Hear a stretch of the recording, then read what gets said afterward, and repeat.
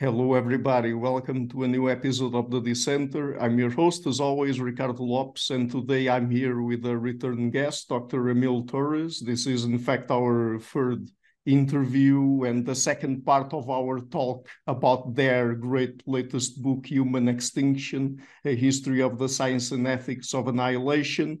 And today we're focusing mostly on the second part of the book that has to do with existential ethics. So, Dr. Torres, welcome back to the show. It's always a pleasure to talk to you. Yeah, thanks for having me. It's great to be here.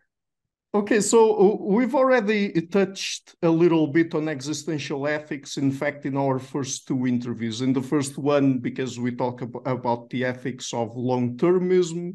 And in the second one, we talked a little bit about pro mortalist views. So that's two different kinds of views there. But uh, just to introduce the topic, let's say, what would you say are perhaps the main questions that people who do work on existential ethics uh, care about? And by the way, how old would you say is existential ethics?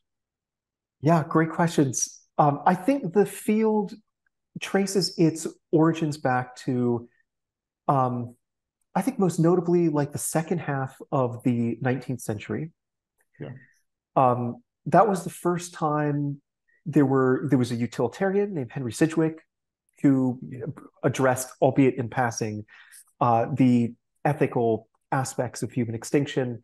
And then there were there was a group of uh, philosophers in the German uh, pessimist tradition uh, who held kind of pro-extinctionist views. So they thought, you know, humanity ultimately should should go extinct. And so I think they were the.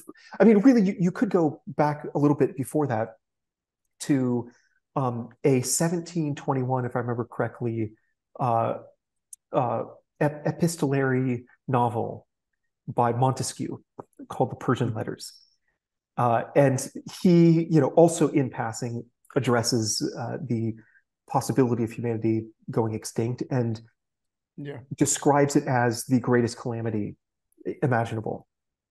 So that's kind of interesting. And Mary Shelley is another person who I think articulated um, claims that are directly pertinent to existential ethics. Uh, Mary so, Shelley, the novelist. Right? The novelist. Yeah, yeah, yeah. Yeah. And so this was in her um, 1826 book, The Last Man. Mm-hmm. Uh, so you know, of course, she's she's most famous for Frankenstein, uh, yeah. written a bit a bit earlier than that. Um, but yeah, so Mary Shelley also was an early contributor, and then fast forwarding a bit through the 1800s, you have the German pessimist and uh, Henry Sidgwick and and so on. And so really, like the the main the, the core questions of existential ethics concern the ethical and evaluative implications of human extinction. Uh, but there's all sorts of other like more specific questions that you could you know ask. So with respect to those core questions, you know, it's, it's like would human extinction would would actively bringing about human extinction uh, be right or wrong? Um, independent of how it actually comes about, would it be a good or bad state of affairs, or would it be better or worse than the yeah. the alternative, which is continuing to exist?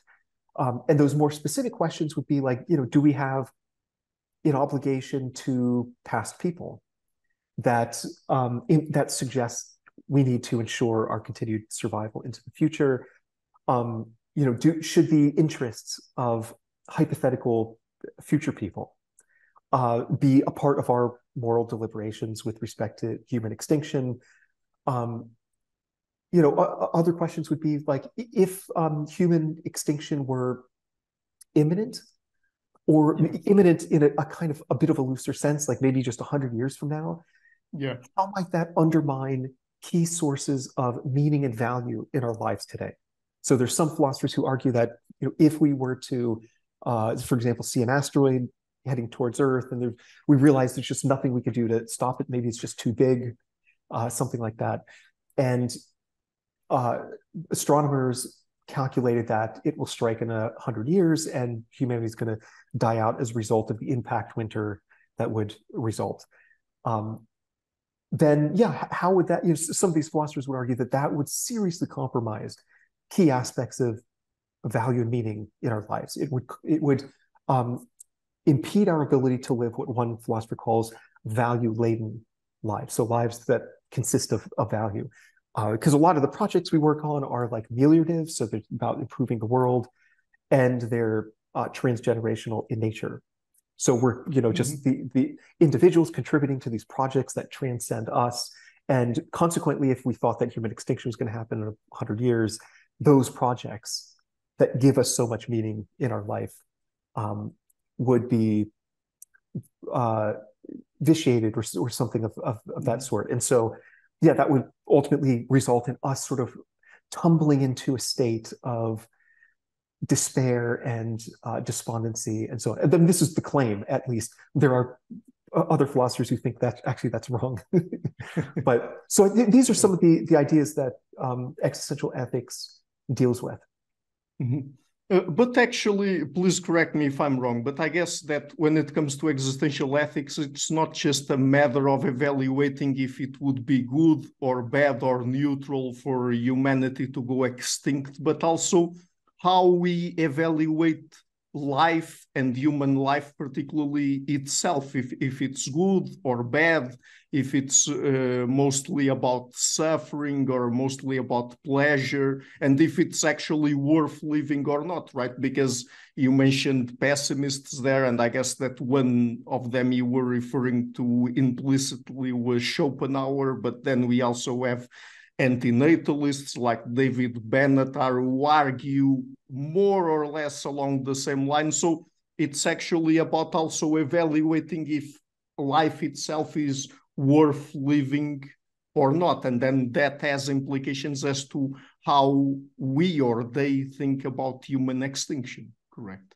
Yes, definitely. Uh, that's absolutely right. Um, you know, the the the um, the philosophical worldview of pessimism. So it's it's yeah. you know this is a, a particular position you could take within philosophy. Um, you know you could find bits of it going back all the way to the ancient Greeks. Um, there was a play yeah. by Sophocles, as I recall, in which uh, part of the choir was something like, you know, um, uh, best, you know, uh, if you come into existence, you know l- life is is terrible. So it's it's best that you leave as soon as possible.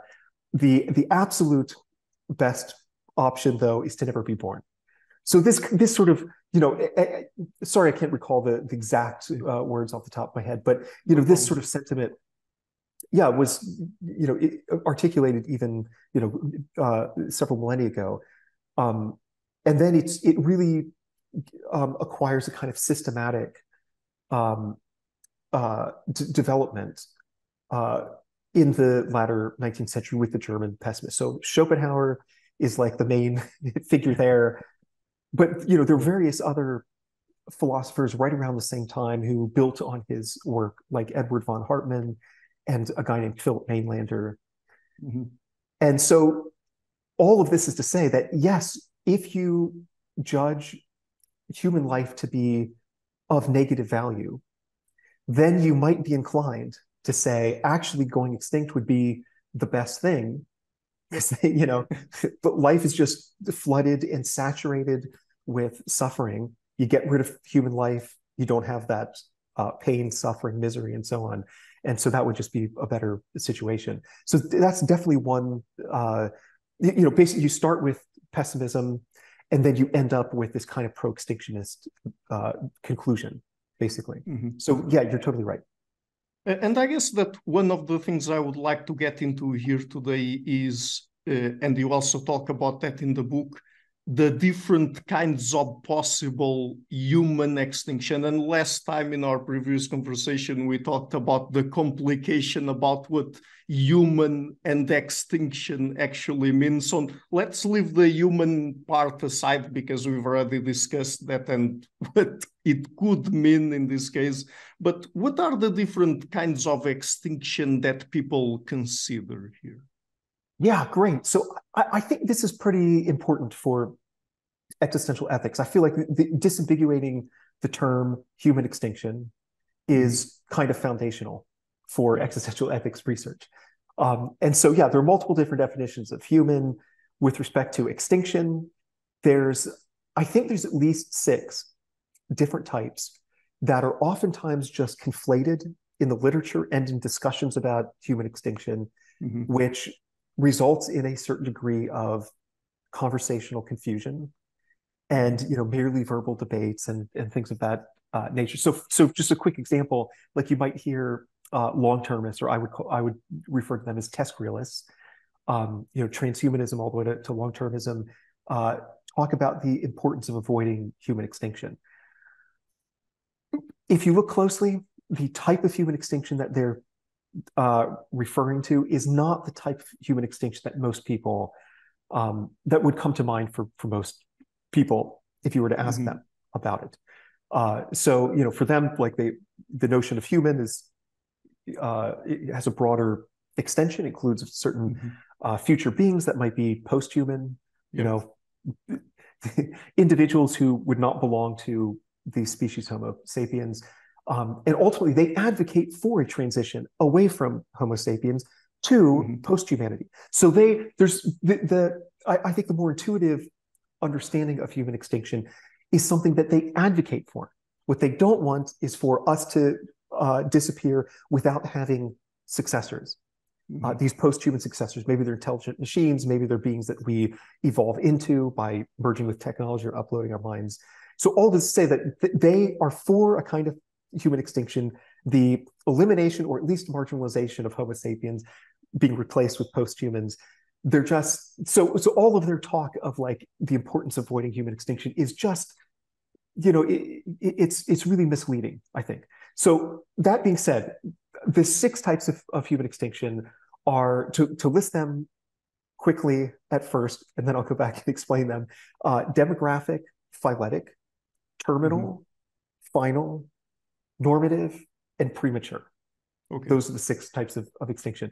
And so demographic, so I, and and I, I think that these different that this typology is important not just for ex, existential ethics, for understanding the ethical and evaluative implications of human extinction, but also understanding the history of thinking about human extinction. Um, so demographic extinction is defined as simply what happens when the human population falls from wherever it is now or in the future to zero. And mm-hmm. so that can happen. Uh, that's that's the entire definition, period. Um, and so this could happen, you know, very quickly. Um, theoretically, could happen at close to the speed of light. If, for example, the Large Hadron Collider under the Franco-Swiss border were to accidentally uh, nucleate what's called a vacuum bubble, mm-hmm. which then you know, it's basically the universe might be in this false vacuum state and then you accidentally tip it into a true vacuum state. So it's sort of like a reboot kind of on the universe. And there's a bubble of basically destruction that expands at the speed of light. So if that happens, you know, tomorrow or maybe just in like two minutes, we would never see it coming. We couldn't see it coming, you know. and so demographic extinction would happen, you know, uh, um, instantaneously. But it also could be very drawn out. You know, maybe there's an infertility scenario that results in the population dwindling to zero over you know two three centuries something like that so then phyletic extinction is, is um, in contrast to demographic extinction where our evolutionary lineage terminates uh-huh. phyletic extinction happens when our evolutionary lineage continues but future beings end up evolving to become so different from us today that we would count them as a completely different species so some kind okay. of post-human uh, beings. Um, and so, you know, th- this is basically what happened with, you know, you could draw a, uh, an evolutionary lineage from Homo sapiens all the way back to the Australopithecines, mm-hmm. um, you know, more than two and a half million years ago.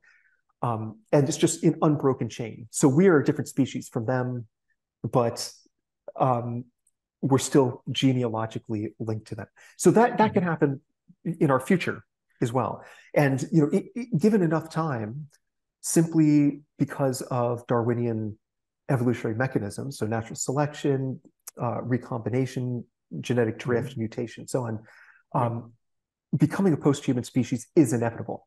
That's just going to take hundreds of thousands or millions of years you know but, that, that, was actually what i was going to say i mean at yeah. least according to evolutionary theory and we know that it's correct it's basically inevitable that we will have that kind of extinction if you consider it that yes right. absolutely yeah so i mean you know we're we're not some kind of like final you know every species in evolution is a transitional species unless it's the last species and the, the lineage just ends you know yeah. otherwise it's a transitional species and so mm-hmm. either our lineage is going to end in the future or we're going to evolve into something else it's completely inevitable but it seems much more likely uh, for better or for worse uh, we'll probably use technology to modify ourselves i mean this this just seems like the direction that uh, our you know technological society is heading. Mm-hmm. So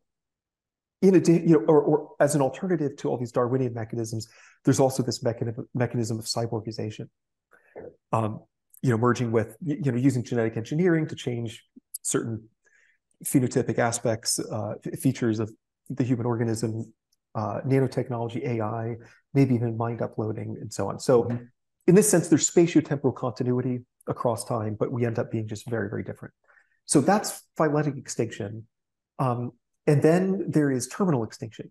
And so this adds a, an extra condition uh, to the definition.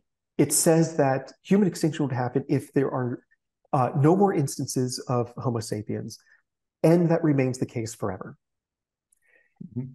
Um, whereas, you know, demographic extinction, it just doesn't say anything about that. Same with phyletic extinction. Um, so shifting for just a moment to to, uh, to focus on non-human animals, this distinction between terminal and phyletic or demographic extinction is really important with respect to this uh, emerging field called resurrection biology. So there are a bunch of synthetic mm-hmm. biologists who want to de-extinct organisms like the uh, carrier pigeon, the woolly mammoth, maybe even the Neanderthals.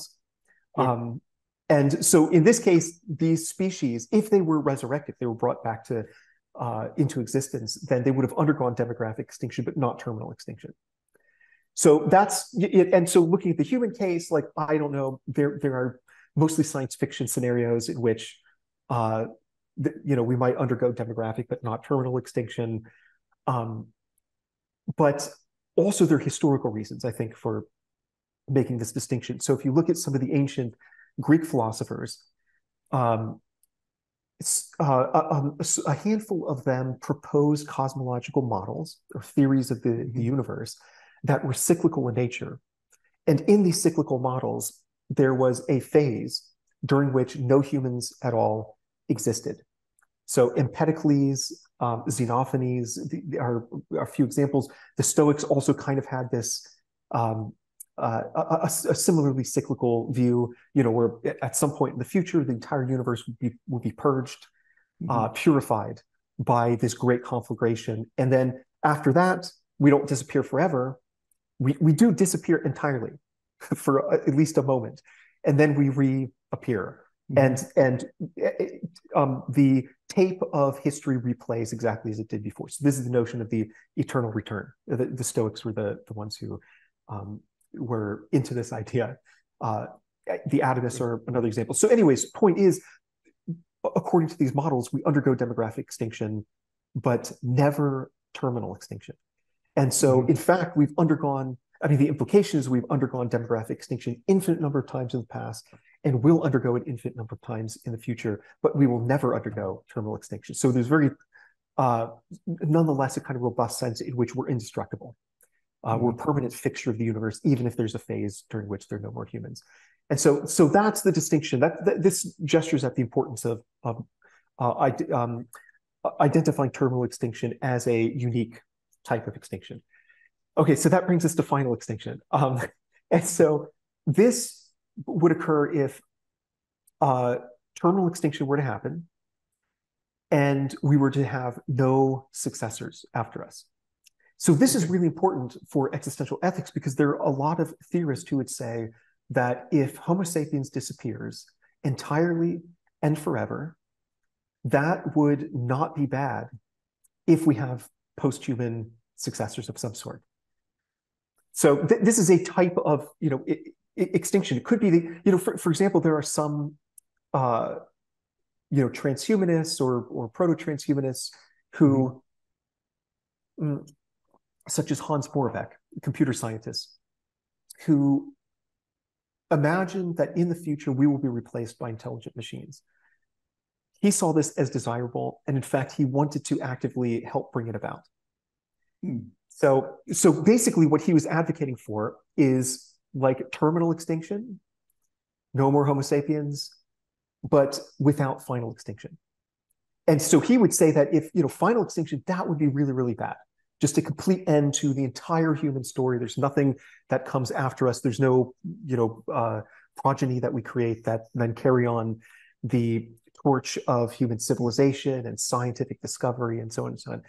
Um, so yeah, ter- terminal final extinction would be very bad, but terminal extinction, there's nothing inherently bad about that at all, so long as it does not coincide with final extinction. So that's that's the the key idea with final extinction is just do we have successors? Um, and so th this brings me to, to normative extinction, mm -hmm. which would occur if we do have successors, yeah. but they were to evolve in a certain way such that they came to lack properties necessary for them to count as human in a broader sense of the term. Right. So, for example, a lot of futurists define uh, humanity as our current species, Homo sapiens, or any future beings mm-hmm. that are genealogically or causally related to us and have a certain kind of moral status comparable to ours. So maybe they're like conscious, you know, there, there, there might be all sorts of properties that are required for them to have moral status, like consciousness. Um, but ultimately, they are beings that that matter in a moral sense. You know, like a rock doesn't matter in a moral sense. You know, you kick it down right. the street, you just don't think twice. And that's mm-hmm. that's you know, nobody should be concerned about the well-being of rocks because there's no reason to think that they feel anything. So as long you know, but, but you know, then there you know other animals out there and humans and so on, and these are um, what philosophers would call moral patients. You know, they're, they're beings that matter morally. And so this definition of, of humanity, including our descendants, on the condition that they have a certain kind of moral status. If you say that's what human means, mm-hmm. then if these future beings exist but lack those extra properties needed to count as human, then there are no more humans. And if there are no more humans, then human extinction has happened.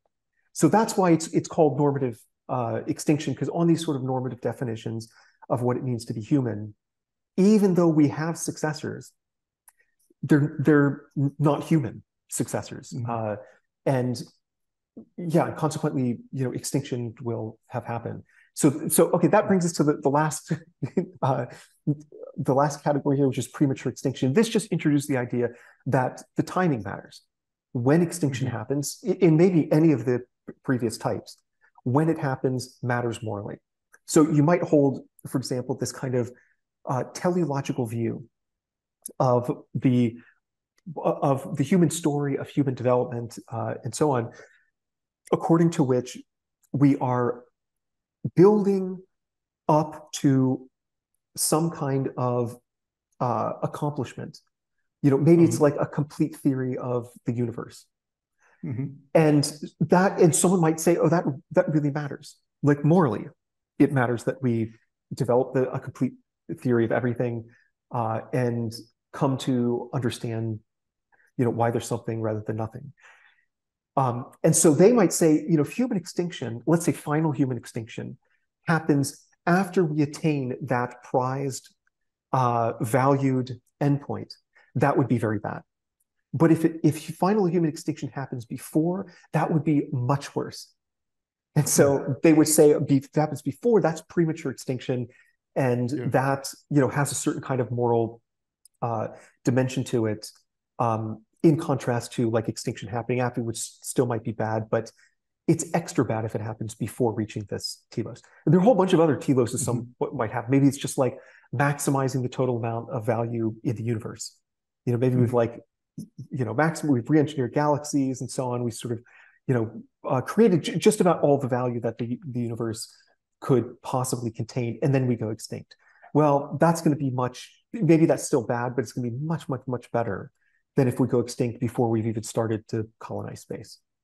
Mm-hmm. So, I, I mean, of course, there are all of these different kinds of you, you, uh, ways of going extinct, but I guess that uh, lots of it tied to uh, tied to the idea that if we as humans, with our psychological mental mental properties, just disappear from the universe, then and this is also something that I guess uh, is argued by further loss theorists that uh, not only humanity itself, but I guess also the universe in general would be losing something because there wouldn't uh, there would not be a species or a, a, group of beings there that would be conscious, intelligent, being able to produce and appreciate art, science, and other intellectual stuff, right? I mean, it ties a lot to those kinds of ideas when it comes to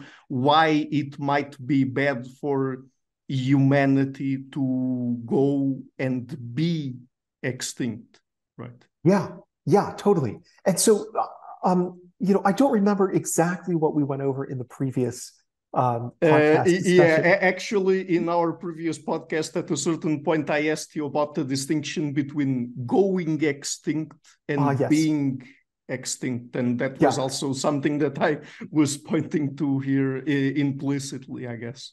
Yeah, yeah, yeah. Um, and so, yeah, I, I guess just to like very briefly recap that, yeah, I think that's a really, really important uh, distinction, absolutely mm-hmm. crucial. Mm-hmm there, you know, th- there are a bunch of theories that say being extinct is totally morally irrelevant. One reason you might think that is if there's nobody around to be harmed by the non-existence of humanity, the non-existence of science and technology and art and so on, then where is um, the wrong? where is the bad? What's bad about that if nobody is actually harmed? So mm-hmm. nobody can be harmed by being extinct. Therefore, being extinct is just not morally relevant and yeah. everything comes down to, to being extinct. And then you've got these further loss theorists who say, no, no, no, there's there's all sorts of uh, further losses associated with being extinct. Mm-hmm. Um, you might, you know, some of these might be classified as opportunity costs, uh, and those are morally relevant. So yeah, it's it's you know they would say like you know what a, a shame, like a moral shame. so shame in kind of a deep sense. Uh, if the universe if let's say we're the only um, intelligent beings, I mean, I use the word intelligent in scare quotes because you know we're we're kind of a, a ridiculous species. but let's say we're the only intelligent beings in the you know in the accessible universe. Yeah. Um, and if we disappear, then you're totally right. Then you know there, there's no more. There aren't any creatures to like marvel at the, the midnight firmament, and um, just just be you know enraptured by wonder and awe at mm-hmm. everything or to create art and you know and all of that is just sort of a a loss to the universe in a kind of more impersonal sense it's yeah. it's not that particular people would suffer the absence of art and knowledge and wonder and so on because there would mm-hmm. be no people around if we went extinct Rather, it's just in this kind of more more impersonal sense. Yeah. You know, the universe would just be Im- impoverished, um, and so yeah, these these further losses, the, these opportunity costs, um, uh, those are morally relevant and hence give us reason to ensure that we don't go extinct because independent of how going extinct happens if it's catastrophic mm-hmm. or you know even if it's voluntary being extinct would still be very bad Mm-hmm. Uh, which is very interesting because it also, in a sense, ties back to that idea that I mentioned earlier about what human means because you mentioned the theorist there i can't recall his name i'm sorry but uh, that who suggests that it would be good for us to develop for example super intelligent machines even if they end up replacing us because i guess that the idea there i might be wrong but the idea there is that those super intelligent machines would have the same uh, important or uh, mental properties that we have or the ones we value and perhaps would even improve upon them. And so in a way it would be more or less like humans continuing to exist in in a way i guess. Yes absolutely.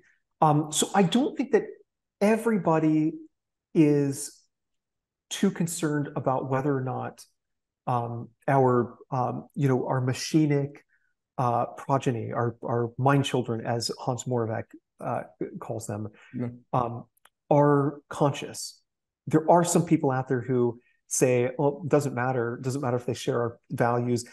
Machines taking over is just the next natural step in cosmic evolution. So Larry Page, the co-founder of Google, holds this view. It's very weird, you know, but most people who have written about existential ethics do very much hold the position that you just delineated uh, very nicely. Mm-hmm. you know, which is like, yeah, actually, maybe our post-human successors would be better positioned and better capable than us uh, mm-hmm. to wonder, uh, to marvel at the universe, to create art, and and to not just create but appreciate art, um, and so on. So yeah, it, it, there, there's you know there, there are some individuals out there kind of in this particular tradition who are explicit that this is why they think we should mm-hmm. replace mm-hmm. ourselves. Uh, so there was a mm-hmm. paper published by a guy named Derek Shiller, um, and it was published just a few years ago.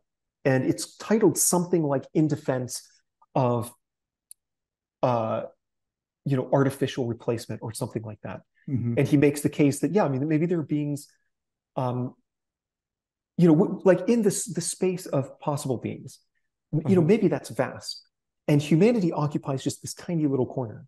So maybe there are other regions of the space mm-hmm. of possible beings um, that, or, or where there exist possible creatures, maybe creatures that we could create, who have just a much greater capacity, even for things like happiness you know mm-hmm. and so you know we have to medicate ourselves with antidepressants and so on but maybe we just create a new kind of being that is you know its just natural default setting is extreme happiness mm-hmm. and so i think there are all sorts of like very significant problems with this idea but i mean from a very abstract you know uh very theoretical disconnected from kind of reality and practical the com- complexities of practical um, issues and questions it makes sense. Like yeah why not why not just mm-hmm. create a bunch of beings? Maybe they're you know completely artificial they're just machines but yeah they're, they're just super happy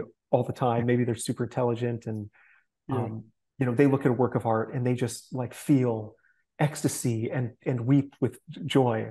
Whereas we look at it and go like yeah that's that's nice so yeah. Okay. So let's put a pin on uh, becoming post-human because I want to talk more about transhumanism in a second. But just before that, there's a also recently something that has become, at least to some extent, more or less popular. I guess that we haven't talked much about yet. For example, in our previous podcast, we talked about some pro-mortalist views out there like omnicide and voluntary collective suicide i would i guess.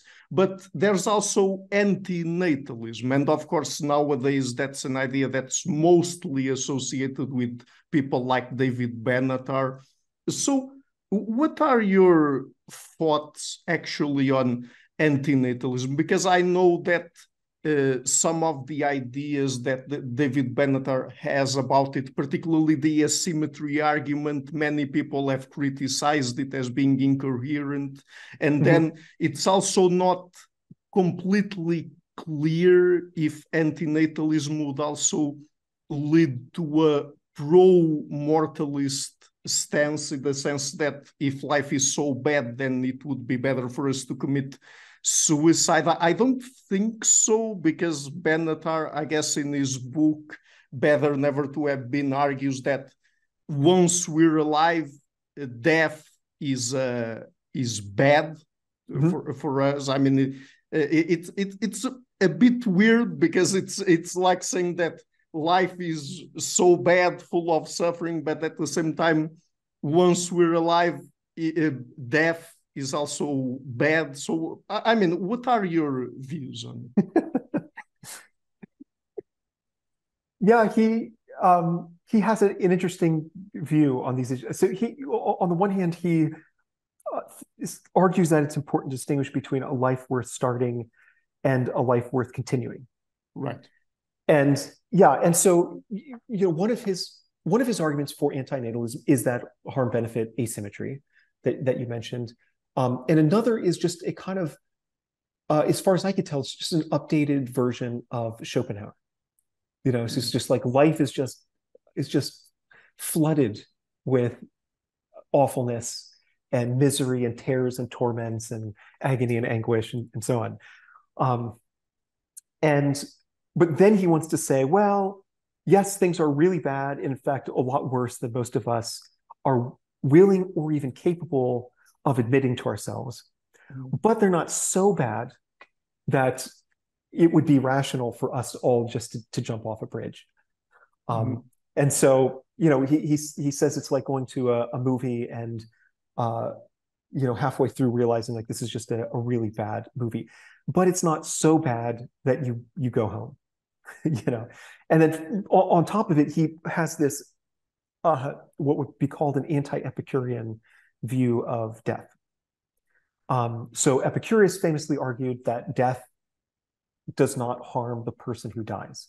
Mm-hmm. so yeah it may harm you know john dying might cause harm to the people around him who, who loved him and are going to miss him and so on but it doesn't harm john himself um, because you know once when you're alive, uh, you're consequently not dead, so death isn't harming you.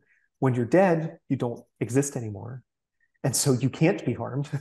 so yeah. where you know point to the the moment that death itself actually harms the the, the person. Uh, there is no moment. That's what he he you know claims at least.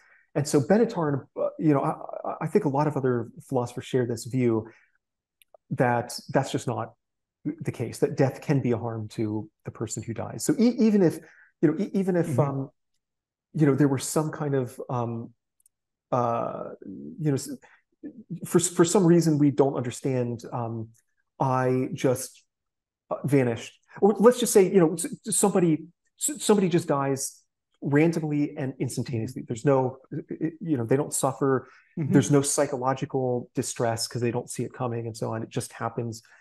Um, they would argue that death has still harmed them you know, even though they didn't suffer psychologically or physically uh, as a result of dying mm-hmm. and uh, you know maybe because it's you know there are there's happiness there, there are good experiences that could that the individual could have had that they are deprived of so this is the deprivationist view. It's a version of anti-Epicureanism. Yeah. And so yeah, Benatar also wants to say that. So not only is the is the movie we're watching, which is life, existence, um, not it's really bad, but it's not so bad that we should all want to jump jump off a bridge, but also death itself is a harm. And so that's an extra reason why, you know, maybe we wouldn't want to commit suicide.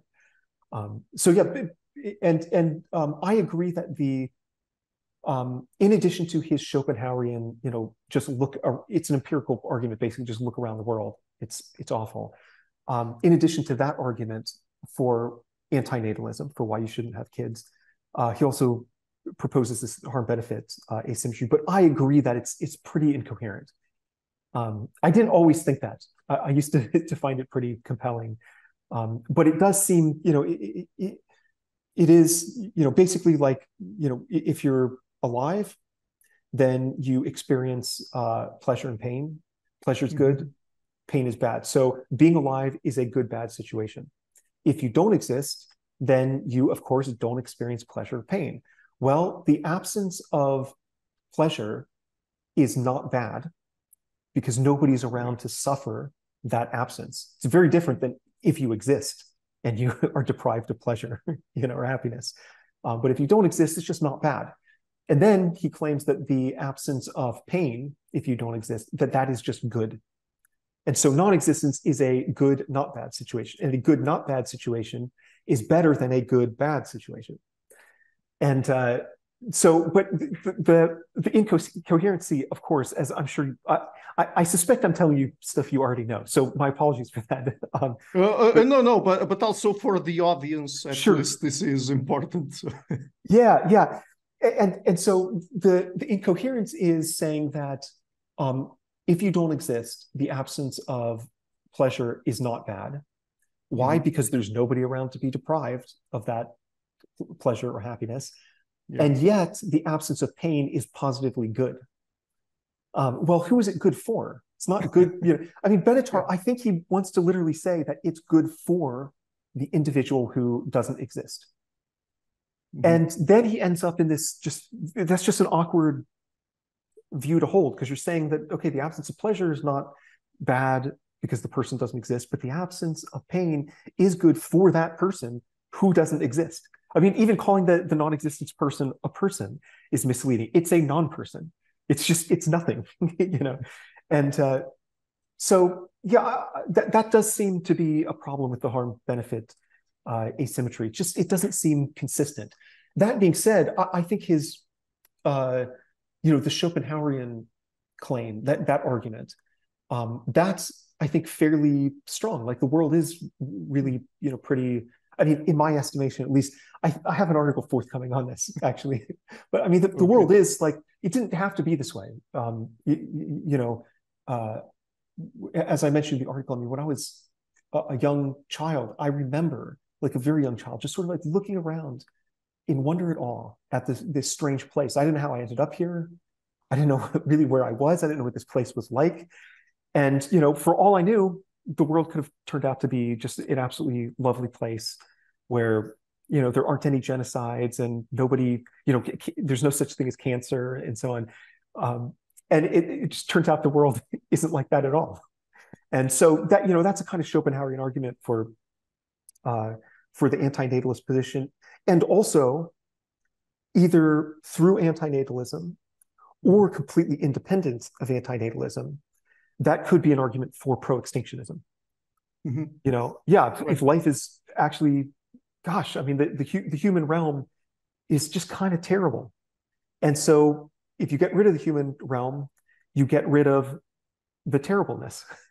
so, you know, maybe there's a reason to to do that and get rid of the, the human realm somehow. Yeah, and uh, no, look, I definitely don't want to. Uh, I, am not against optimist views, world views that people might have. It's good that people can cope with life and feel happy and all of that. But I definitely agree or think that uh, the number of ways out there that you can suffer is limitless, at least for humans. So I, I, guess that's something that most people uh, can agree with. One of the things that Benatar points at, so I, am generally not a fan of, of Benatar, the the uh, the yeah. philosopher himself. Um, there's lots to say about that. But um, one of the points he makes, which uh, I think he's the first one to uh, to put it this way, and it's it's sort of yeah, it's a, a nice way of putting the point, um, is that there is chronic pain. There's no such thing as chronic pleasure, you know. and you're right, like just the types of suffering is you know it's just kind of endless. Um, mm-hmm the types of happiness. I don't know. Maybe I haven't really thought about that point uh, carefully so much, but the, certainly the degree to the possible intensity of suffering mm-hmm. uh, can vastly uh, exceed the possible intensity of pleasure. So, like most people, if they're asked, like, would you uh, trade, you know, 24 hours of the most horrendous torture for, you know, the rest of your life, or maybe the next hundred years? of just like blissful existence.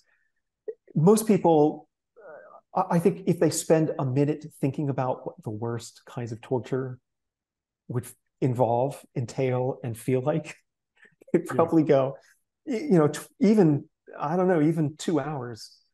Um, you know, when when you suffer, time slows down. When you mm-hmm. are having a good time, yeah. you you know, gosh, where, where did the time go? So this is all these built-in, you know, features of the the human uh, experience in the world yeah. also sort of conspire to uh, to lead to a kind of Schopenhauerian assessment of things.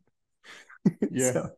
Well, uh, uh, let's leave it at that and let's people decide on their own if they have a more optimist or pessimist view of life. So, but but let's get in a little bit into transhumanism now. I, I find it really interesting because I mean there are different ways of being a transhumanist. I guess different uh, things that people suggest we could do to go beyond, I guess, being human. I mean, there's for example, becoming cyborgs, genetic engineering, uh, yeah. different sorts of medical developments, I guess.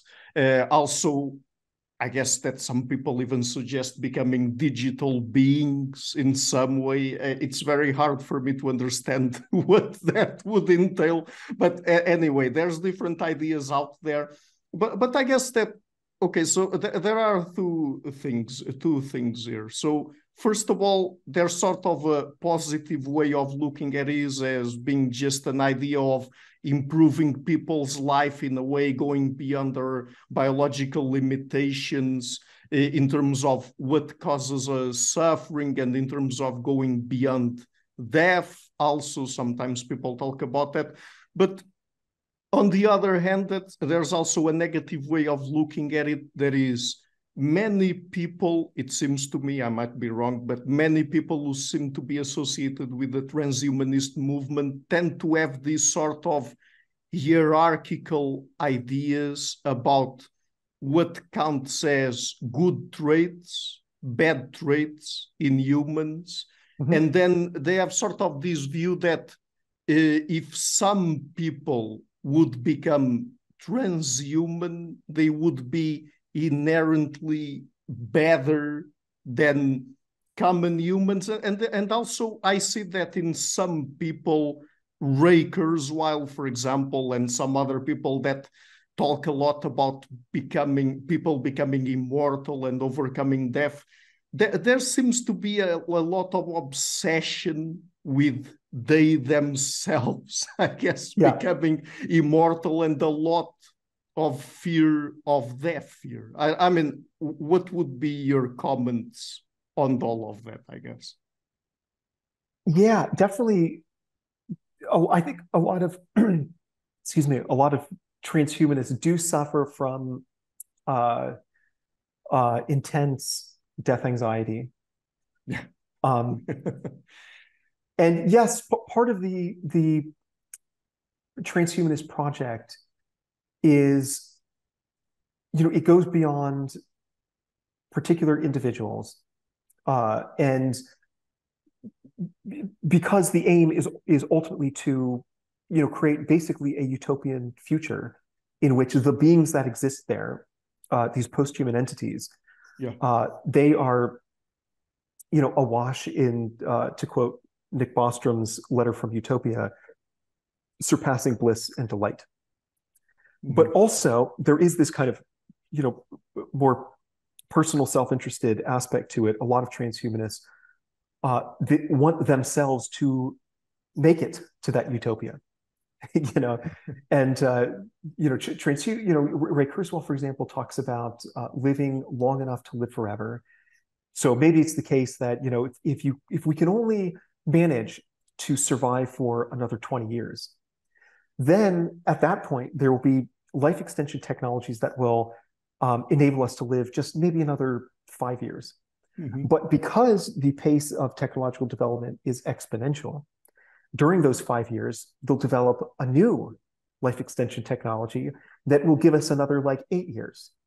And then within that eight years, that extra eight years that we have, there'll be this new technology that'll give us 50 years. Mm-hmm. And then once we're 50 years in, they'll have, okay, here's a, th- this new rejuvenation technology that enables you to live indefinitely long. So if you if you you know attain what they call uh, longevity escape velocity, um, then yeah, then you you will have lived forever, lived long enough to live forever.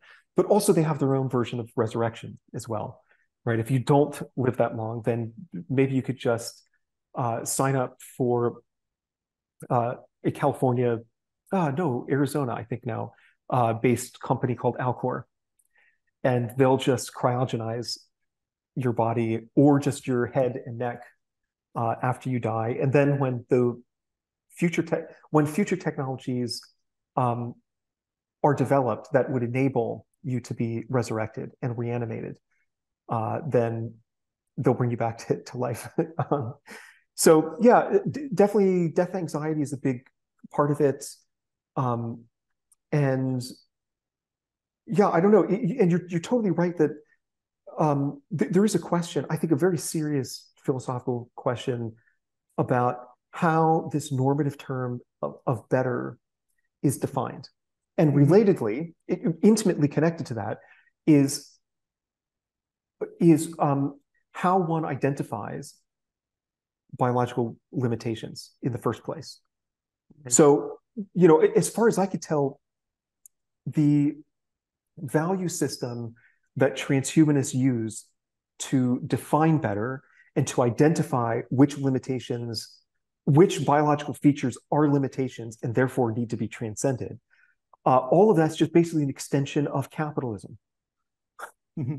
you know, it's all, all, sorts of values that um, are important within the capitalist system, um, or you know, I, you might even say a sort of techno-capitalist system, uh, those values like efficiency and a certain kind of reliability, mm-hmm. speed, information processing uh, capabilities, and so on, all of those are good to have in machines uh, and within the, the capitalist milieu. Uh, and then t- those values are taken and some would argue inappropriately applied to the human domain. And you know, so it, what, what they ultimately want is like you know to upload their minds so they can think a lot faster. Mm-hmm. Um, uh, some of them fantasize about you know expanding their uh, memories memories so that they can retain you know the entire li- Library of Congress. Uh, uh, also, actually, sometimes implanting chips in your brain to increase your I don't know, cognitive efficiency in some way. Yeah, yeah, totally. And, I think part of uh, a difficulty in making this critique is that a lot of us are so embedded within the capitalist system mm-hmm. that to even suggest that things like efficiency um, might not be that that that might not be a value that is justified or, or we should question that value I think for many of us, that just seems like completely weird. But it's worth taking a step back and saying that yeah. response that it's weird is itself weird. like, you know, the, the, for most of human history, um, these these values were not emphasized, were not identified mm-hmm. as things that we should, you know, strive to attain, to embody, and so on. I mean, what is it about living a meaningful life that requires us to process information faster or be more efficient or be more productive you know and, so on mm-hmm. maybe maybe these values are not only irrelevant maybe they're antithetical antithetical mm-hmm. to living actually a really meaningful life um and, so, and actually i guess that and this is just an example if we were to ask for example some ancient philosophers even virtue ethicists like Aristotle, I wouldn't imagine them saying that efficiency is one of the things that makes human life better. I guess. Yeah, if you want to attain eudaimonia, true yeah. contentment and satisfaction and happiness, be more efficient, be more productive, be, you know, yeah, uh, you know, more reliable in a, in a kind of robotic uh, sense. Yeah, so absolutely, you're totally right. Um, and so I think this is a big problem with with transhumanism is a, a, lot of them I feel like don't even seriously question the underlying assumptions that go into identifying aspects of us as limitations you know and yeah. they, they just yeah don't really question those those values that are informing their notion of what it means to become a better hmm. post-human species yeah, and actually, this is something also that we touched on in our first interview when we talked, for example, at a certain point about long termism and some of its links, at least with some people with eugenics. And we talked about, and in this particular case of transhumanism, there are lots of people who are just obsessed with. Uh, I mentioned earlier genetic engineering, and they are obsessed with identifying genes associated with IQ yeah. to improve IQ to uh, for their children to score even higher in terms of their IQ to improve certain other psychological traits. I know uh, uh, one of them that they also tend to consider good and as you say in particularly capitalist societies uh, a personality trait like conscientiousness and stuff like that. And even sometimes uh, you hear people talking about aesthetic traits, like, I don't know, being more beautiful that is attractive to the opposite sex and then it ties to evolutionary ideas i guess in a sense. So i guess that perhaps one of the ways this might be problematic is it uh, actually ranks people in terms of how good or bad they are as humans. Right. Yeah yeah absolutely. Human uh, this notion of human hierarchy yeah. um, that that that is central uh, to this view. I mean I, I, think the notion of iq is just a really impoverished um, way of understanding intelligence.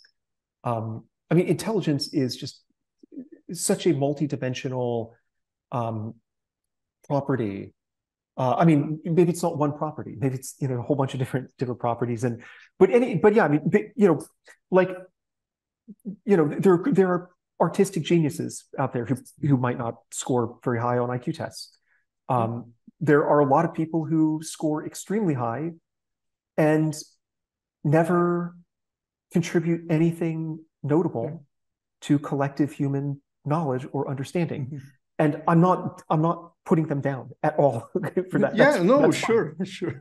But just saying, like it's it's just yeah, it's it's this linear scale, and you know you could sort of rank everybody on it. And yeah, I, I mean, I guess you could say a similar thing about a lot of these other metrics, you know, which are just really basic, impoverished, um, uh, unsophisticated reliability, you know, efficiency, and so on. And you just mm-hmm. kind of kind of rank uh, people on these scales, and then you can say, okay, the, the goal is to be more like the people at the top.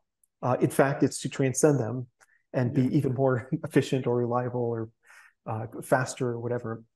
Um, so yeah, you know, and, I mean, and also, uh, by the way, let me just add because I had a recent interview with Dr. Adam Rutherford, and he has a great book on eugenics. I I, I think that the title is Control and actually is an evolutionary biologist. At a certain point, we even mentioned in the interview how, even from a purely biological perspective, it doesn't make much sense to try to just uh, restrict humanity to people with particular traits that, in a specific context, we consider the better traits because it's also better to have a wider genetic pool in case the environments we have to adapt to, to, change over time. And that's just a purely biological perspective, right?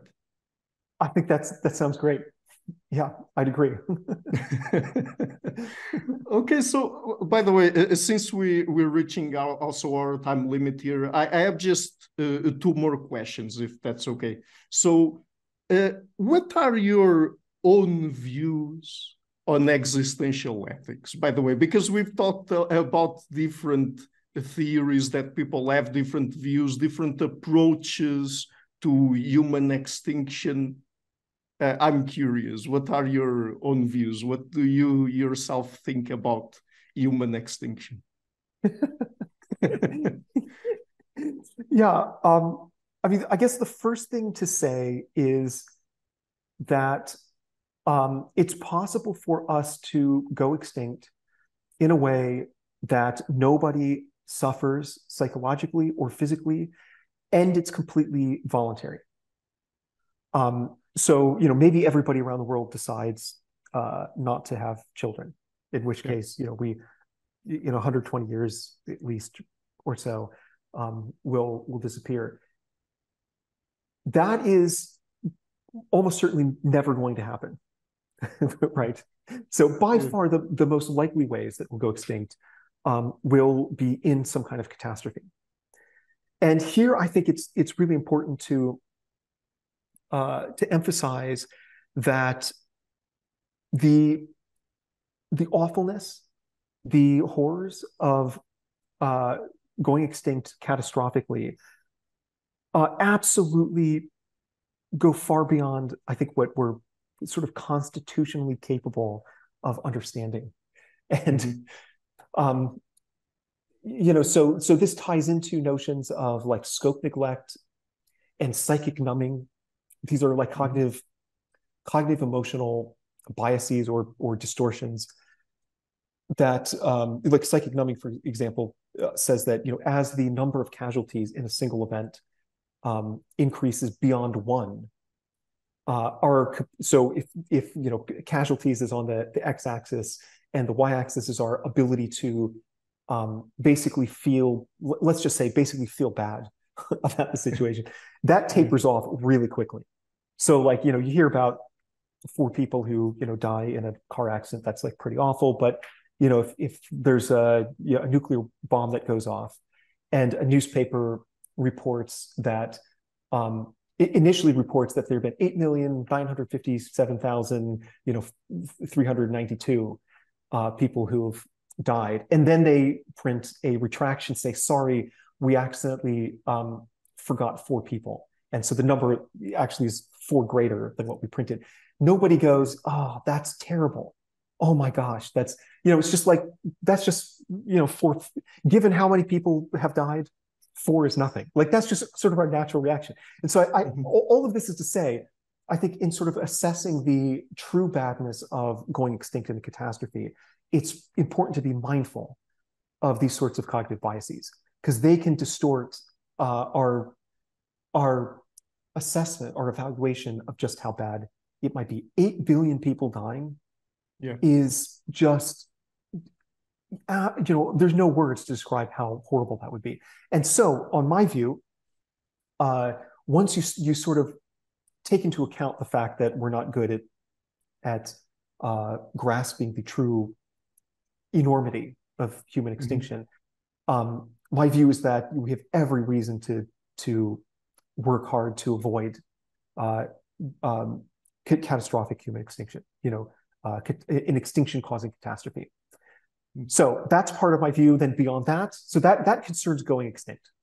Okay. Uh, that's that sort of feature, that aspect of human extinction. Then with respect mm-hmm. to being extinct, I don't know. I just have, you know, I, I, I'm I'm still kind of trying to work through these issues. On the one hand, I find a lot of the further loss uh, theories to be uncompelling. So this would include long-termism and totalist utilitarianism, uh, which again, you know, say that the the the non-existence of you know potentially very large number of future people that that itself would be really bad you know no future people mm-hmm. to appreciate art to f- experience happiness and so on the universe right. itself in this impersonal sense is impoverished mm-hmm. um, i find the the equivalence view to be correct on this issue that if there's nobody around to suffer those losses then um, nobody is harmed. If nobody's harmed, then what exactly is bad about that state of affairs? Um, so I'm very sympathetic with the equivalence view, um, not sympathetic with certain, at least certain kinds of further loss views like utilitarianism, long-termism, and then beyond that, the the the um, pe- the pessimistic position in philosophy that motivates some pro-extinctionists that I also I, I feel the the pull of, you know, because like I was saying before, me it does seem like the, the world is is pretty awful. Um, I, I, I mean, I, I my my best guess right now is that a lot of people do work hard to whether consciously or unconsciously to sort of shield themselves from some of these facts but i mean mm-hmm. so yeah i i don't want to put this too unfairly or tendentiously but i feel i feel like an honest look at the world leads to like a pretty bleak picture about things and so i don't know if you know i, I, I think human extinction would be unimaginably awful uh, because it almost certainly would involve a catastrophe. And again, we should do mm-hmm. everything we can to prevent that from happening. Um, right. I'm I'm passionate about that view. But if it did happen, if the worst happened and, and eight billion people perished, there's ah uh, there, there's you know a bit of a silver lining at the very end of that because you know all of the badness that just you know pervades uh, the theater of human existence mm-hmm. uh, would no longer be and surely that would be, in a, a certain sense, good, um, or at least better than, you know. And also, I mean, the other, the other thing that just sort of underlines this position for me, at least, is thinking seriously, and maybe I'm completely wrong about all this, but but maybe I'm not, is sort of thinking seriously about how bad the future could be. You know, there, there are a lot of people right now who say, well, you know, there's there's we've made all sorts of progress, and you know, Steven Pinker's out there saying, you know, the statistically violence has declined significantly over the, the centuries, and I think a lot of that is like deeply flawed. Um, a lot of the reasoning is is completely mis- misleading, and um, and then you know, beyond that, um, if you think about what technology could enable us to do, um, then you know, I mean, maybe it's possible that we do successfully create life extension technologies. If that's the case, then like let's just you know let, us just uh, take a moment to brainstorm how that could be misused.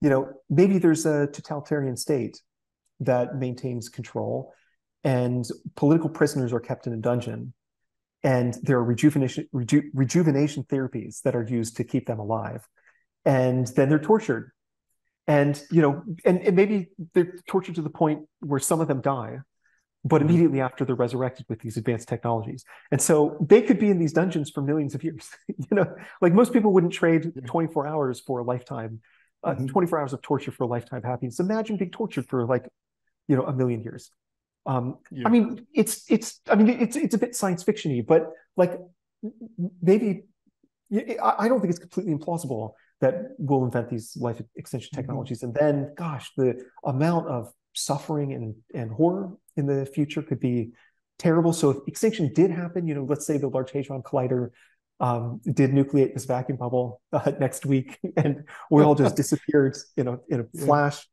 Um, yeah, I mean, I guess there would be a silver lining to it at least. I mean, that's kind of my view. I know it's a, it's a dark, sad view, but it's like I feel like that this you know, just being alive for 41 years has just pushed me against my will to like go like, yeah, I don't know. The world is is, is pretty awful, pretty awful mm-hmm. place. So that's sort of my view. It's, it's sort of a mixture of uh, of these different positions, and it's still evolving to some extent. Okay, so before I ask my last question, let me just add, and also to help promote this sort of pessimist agenda, that um, actually you mentioned Steven Pinker there, and I had two very interesting interviews on the show with uh, critics of his work. One of them, an Australian historian, he has a book titled an edited book titled The Darker Angels of Our Nature, where he actually goes through the argument that violence has actually declined over time. He argues that's not the case. And also the other one is Bear Braumoeller with Only the Dead. That's the book uh, specifically about war, the argument that war has declined over time. So just to, for people to check those two interviews and books, by the way, which are very good. So when may, may I add something real fast, if, if you don't yeah. mind? Yeah, yeah, um, just, sure. just you know, to, to me, like Pinker's argument is, um, let me think of how to put this. So, like, imagine, uh, you know, you, you you go back in time, and there's there's like a billion people on Earth, mm-hmm. and uh, ten uh, percent uh, of them have died in wars over the past year. So, you know, a, a, significant number, but total population is 1 billion.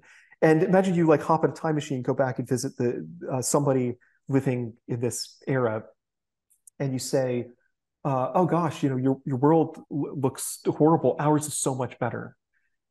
And they say, "Well, um, you know, why is that? Like, how many people have died in wars over the past year in in the future?" And the person responds, "Oh, 10 billion." And they go, "10 billion? That's how is that better? That's that's way worse than 10% of 1 billion." And the person says, "No, no, no, no, you don't understand. There are 100 trillion people in the future." And so 10 billion, that ends up being, I mean, uh, I'm, I'm revealing how bad I am at math off the top of my head, but a smaller percentage than 10%. Oh no, so you don't understand. It's it's a smaller percentage. And the person goes, yeah, but it's 10 billion. And so it's to me that's that's what the argument you know boils down to. And you know I don't know. I guess in a sense, like yeah, statistically maybe it.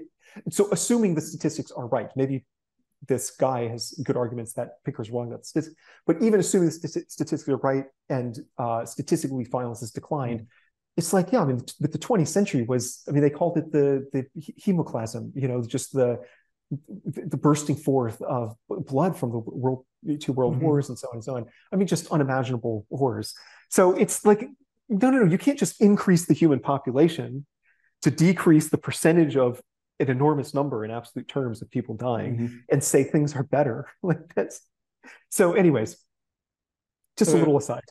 uh, okay, okay. So, uh, uh, do we do we have time for just one quick last question? Okay, Perfect, so. Yeah uh, I would like to end this because we've already had three interviews, two of them about your book, and I'm really curious about this. What do you think can be the consequences of being exposed to eschatological thinking or eschatological narratives? Because it seems to me that, on the one hand, perhaps it can motivate people to pay attention to certain potential real existential threats like for example climate change. And i'm not implying with that that climate change can lead actually to human extinction but at least it's a big danger out there. But on the other uh, on the other hand we've talked here a lot about long-termism eugenics and some extreme political agendas based on fear of humanity going extinct. I don't know exactly when in the future. So, what would be your take on that? I mean, do, do you think that it can be mostly good or mostly bad for people to be exposed to eschatological narratives, or does it depend on the narrative itself? Yeah, good question. Um, I mean, I think if you are critical of some of these views, then um, understanding them is probably good, mm-hmm. especially because you know some of these kind of eschatological narratives, like the ones involving uh, existential risk associated with long-termism and transhumanism and the TESCREAL bundle of ideologies.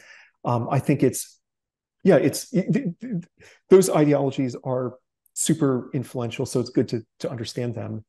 Yeah. Um, let me think. I mean, it's a great question. Uh, you know, I, I, I think historically, there's a good case to be made that many of the most significant events in Western history have involved eschatological promises and fears. So, you know, what would be one example of that? Yeah, sure. So, uh, Oh, so I mentioned Western history, but okay, let's just broaden it to, to global history. Okay. Um, the the two most uh, violent uh, deadly wars uh, or conflicts. Um, first is World War II. Mm-hmm. Um, and, you know, the, Hitler used a lot of uh, the employed and exploited a lot of Christian eschatological themes. You know, so he even promised a thousand year right, um, you know, a thousand reign of the the, the Third Reich, mm-hmm. um, and you know that is is uh, ties into directly this Christian prophetic notion of the millennium uh, millennial kingdom. So it's like okay that at least in part i mean there, there, was this notion of just there's this glorious future that awaits us. Um, you know we're in this sort of cosmic struggle between good and evil. The nazis thinking they're good you know and, uh, you know, other ethnic groups are the embodiment of evil and, and so on. And so they're engaged in this cosmic struggle and at the end of the struggle awaits a utopian paradise um, and uh, by the way, related to that, I might be wrong, but didn't they also imply that the Jews were actually an existential threat to the Aryan race and to the Germans? Yes. Um, this isn't sufficiently fresh in my memory um, to really say either way, but that hmm. sounds right, I think you know yeah I, am also not 100% sure uh, yeah it it just seems to me it sounds right to me at least i uh yeah um I, am fairly sure that that's the case um so yeah i mean that's another connection um the second most uh deadly conflict was the Taiping rebellion in mm-hmm. the uh in the 19th century i think around the mid 19th century mm-hmm. um and you know just enormous numbers of people died, and that was between the uh, Qing Dynasty, I think it was, and a, a, an apocalyptic movement called the Taiping Heavenly Heavenly Kingdom. Mm-hmm. And so they, you know, they believed that also they were in this sort of apocalyptic cosmic struggle between good and evil. And so, I mean, th- those are two examples. There, there are all sorts of, um, uh, you know, terrorist attacks. I mean, the 9 11 attacks perpetrated by Al Qaeda um, uh, you know, Al Qaeda was very much an apocalyptic uh, or apocalyptically minded um, uh, terrorist organization. The Islamic State is, I mean, and I mentioned 9 11 because, yeah, it was just like, it wasn't a war, but I mean, it changed the course of history. you mm-hmm. know, uh, I mean, it was a hugely uh, momentous uh, event. Um, yeah, you sort of say the same thing with ISIS, you know, and, mm-hmm. and they were, you know, very explicitly apocalyptic and and believed also you know that uh, Islamic um, you know certain passages in the prophetic hadith uh, were actually it was their role to actively mm. fulfill those those prophecies. So yeah, I don't know. I, I, feel like you know there are some. Uh, I mean, it, goes way beyond that as well. I mean, there are scholars who refer to um, a, a, certain group of evangelicals in the U.S., which is an enormous uh, um, demographic as the Armageddon lobby, mm-hmm. because you know their their support for evangelical uh, uh, politicians and right. evangelically consistent policies such as a an unwavering support for Israel, all of that comes down is is intimately connected with their eschatological mm-hmm. view because you know the what lies beyond uh, Armageddon it's the millennial kingdom. Mm-hmm. Well, what is necessary for Armageddon to unfold? Well, you need the, the great tribulation uh, to ha- or the tribulation to, to happen. Great tribulation is part of that. The tribulation happens seven year period of of you know um, during which the Antichrist uh, reigns. Well, all of that is to say you can't have the tribulation without a Jewish state in Palestine, and so consequently, a lot of them are just you know. Um, their support for Israel is non-negotiable, and it's it's ultimately deeply anti-Semitic. you know, it's like right. on their view, the, the Jews are going to go to hell or they're going to be converted, and they're basically just using Israel mm-hmm. uh, for the purpose of ensuring that the eschatological narrative is actually fulfilled. Mm-hmm. So it's this. This is another, yeah. Just to to in, in a long-winded way to answer your question about why I think, um, you know, a lot of like major historical events, uh, all the way up to the present, have had eschatology kind of at their core and mm-hmm. and consequently understanding eschatology i think is is like really important for understanding what the hell's going on and, and what's you know why things have happened in the past the way they have. Okay so i guess that's a great note to wrap the interview on and the book is again human extinction a history of the science and ethics of annihilation. I'm leaving a link to it in the description box of the interview. And dr torres as i said at the beginning it's always an immense pleasure to talk to you. I loved all of our conversations and I couldn't recommend the book uh, enough. I really loved it. it. Loved it. It's one of my favorite 2023 books. So thank you so cool. much for writing it. thank you. Thank you so much. I'm, I'm really happy to hear that. Um, yeah, it's absolutely lovely chatting with you for a third time, and, and hopefully there will be a fourth. Hi guys, thank you for watching this interview until the end. If you liked it, please share it, leave a like and hit the subscription button. This show is brought to you by Enlites, learning and development done differently. Check their website at enlites.com and also please consider supporting the show on Patreon or PayPal. I would also like to give a huge thank you to my main patrons and PayPal supporters.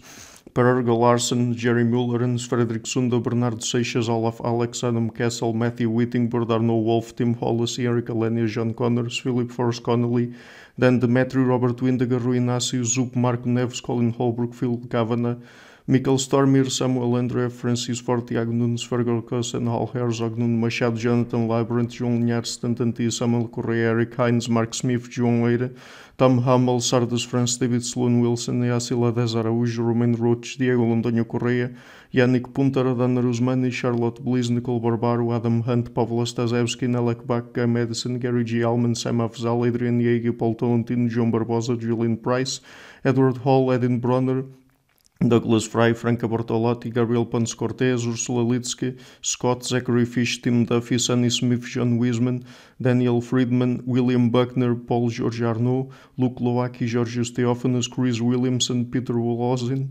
David Williams, Diogo Costa, Anton Erickson, Charles Murray, Alex Shaw, Maury Martinez, Coralie Chevallier, Bangalore Atheists, Larry Dealey Jr., Old Herringbone, Sterry, Michael Bailey, Dan Sperber, Robert Grassi, Zigoren, Jeff McMahan, Jake Zool, Barnabas Radics, Mark Campbell, Thomas Dovner, Luke Nissen, Chris Story, Kimberly Johnson, Benjamin Galbert, Jessica Nowicki, Linda Brandon, Nicholas Carlson, Ismail Benzliman, George Coriatis, Valentin Steinman, Per Crowley, Kate von Goeler, Alexander Hubbard, Liam Dunaway, BR, Masood Ali Mohammadi, Perpendicular, Jonas Hertner, Ursula Goodenough, Gregory Hastings, David Pinsof, Sean Nelson, Mike Lavigne, and Dios Necht.